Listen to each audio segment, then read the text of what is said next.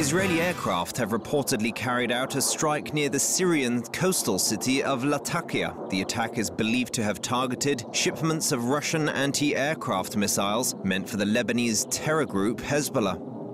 The airborne operation is believed to be the sixth such strike in Syria this year. Israeli officials have not commented on the reports, but Israel's leaders have repeatedly said in the past that they would act if they felt Syrian weapons were being transferred to militant groups in the region, especially Hezbollah. There was no immediate confirmation from Syria, but last time Israel allegedly struck in Syria, Damascus said it would retaliate.